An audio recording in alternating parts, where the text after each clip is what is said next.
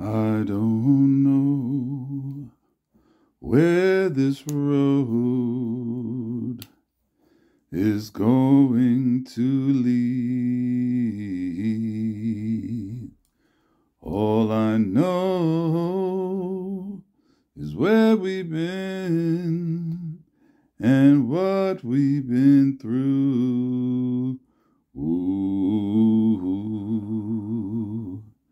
If we get to see tomorrow, I hope it's worth all the pain. Wait, it's so hard to say goodbye to yesterday.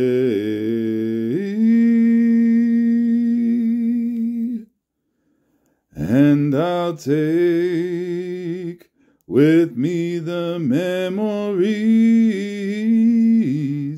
to be my sunshine after the rain. It's so hard to say goodbye to yesterday.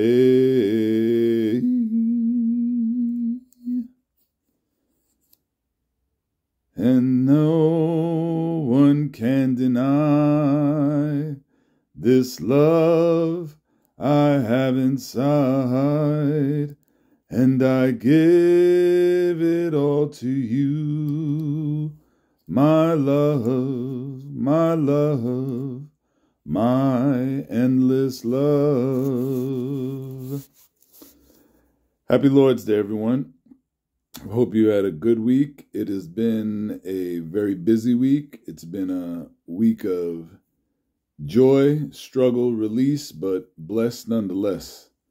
First and foremost, I'd like to say that my heart and my prayers are out to the Campbell family and the Adams family that are dealing with losses of loved one at this time. And, you know, I just hope that as I pray for them, you pray for them too. And, you know, it's, I know it's my job, but because I deal with loss and I help others deal with loss, I can always find a reason to be happy. I can always say to myself and say to others that someone might have it worse than I have right now. So I shouldn't look at my problems as, you know, the burdens of the world.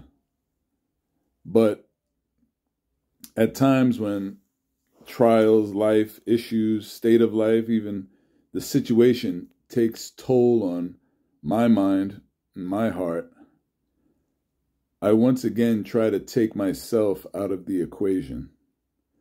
And I know it sounds cliche or it sounds like a pat answer, but I try to let go and let God. And it's hard to do so.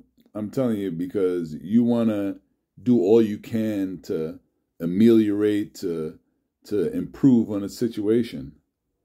But oftentimes it proves to be when you let go and let God in that equation and take over and leave it in his hands, in essence, it turns out to be an, a better outcome. And I, I like to remind myself and remind others he doesn't give us what we want, he gives us what we need.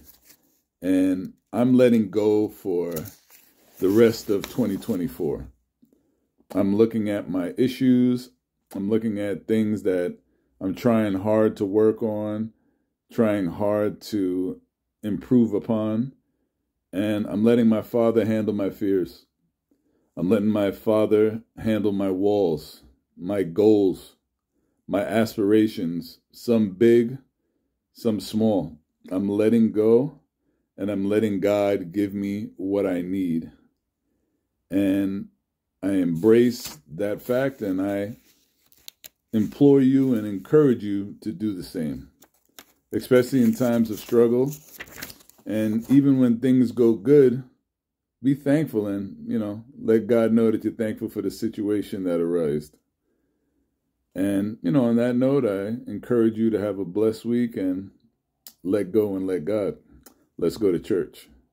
Yesterday, today, forever, Jesus is the same. All may change, but Jesus never. Glory to his name. Glory to his name. Glory to his name. All may change, but Jesus never. Glory to his name.